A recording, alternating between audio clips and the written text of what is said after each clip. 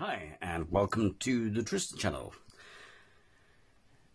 Ancient civilizations spanned across vast geographical regions and endured for thousands of years within these diverse societies, attitudes, beliefs, and understanding, understanding sorry, regarding gender varied considerably.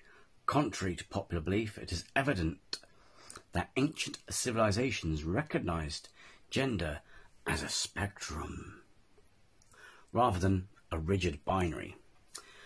By exploring examples from cultures such as Mesopotamia, Egypt, Greece, and Rome, we can shed light on the fluid and multifaceted understanding of gender in antiquity.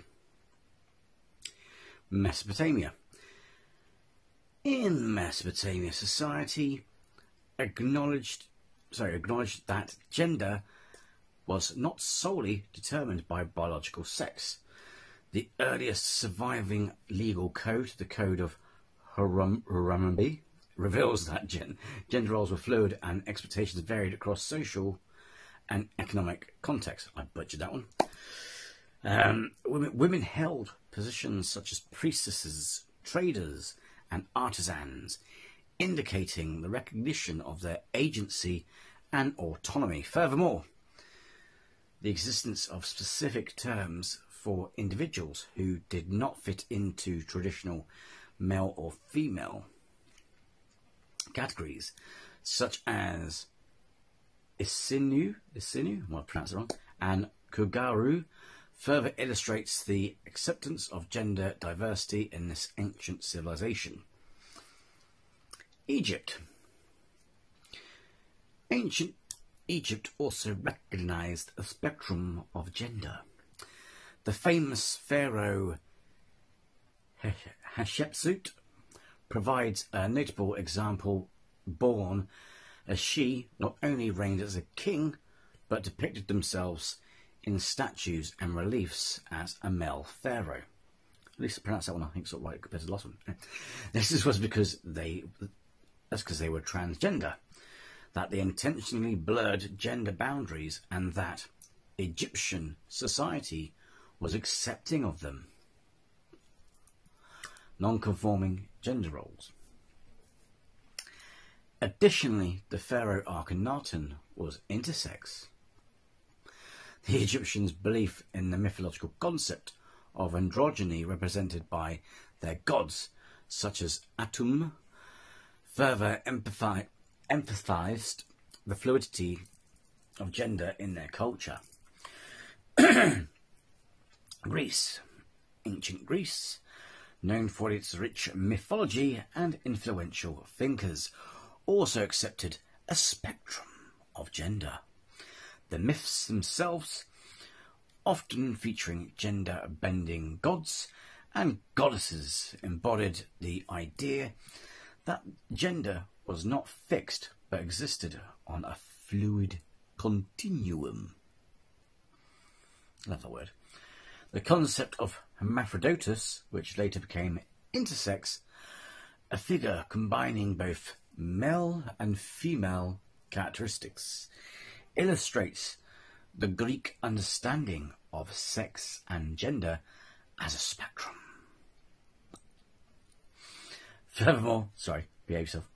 Furthermore, Greek literature and philosophy frequently explore the complexities of gender identity, showing a nuance acknowledgement of the fluidity of gender roles. I'm sorry, but the history just oh.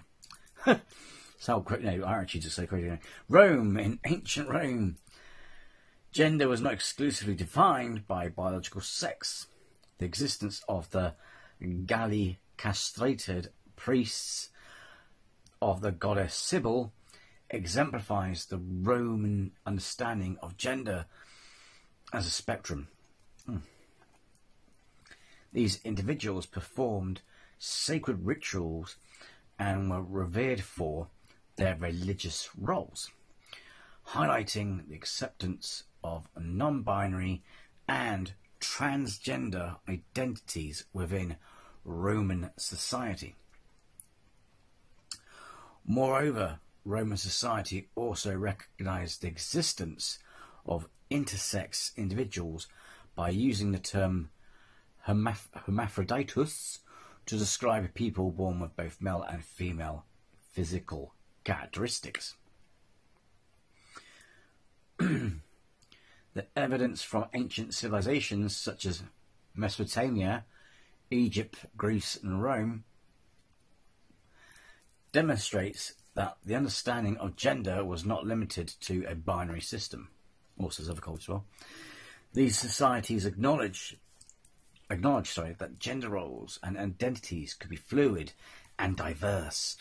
Priests, rulers, and mythological figures who transcend traditional gender roles were celebrated and respected. This recognition of a gender spectrum within various ancient civilizations challenges the assumption that rigid gender binaries have always been the norm. Amateurs behave. By appreciating the multifaceted nature of gender in antiquity, we can broaden our perspective and understand that the concept of gender has evolved across history. But who forced the binary? While it wasn't science, culturally it was thanks to Christianity and its belief in the Adam and Eve story. E.g., there's only man and woman, and that's the way it is, no matter what, because God made it so. Oh, really? As if we can understand the will of a supreme being. I know, the arrogance, right? And technically, if indeed Eve came from Adam's rib, then either Eve is actually Steve, or that Eve is the first trans woman. Interesting that. Although science and the elder gods would disagree with you, and I don't know about you, but I listen to science. Thanks for watching.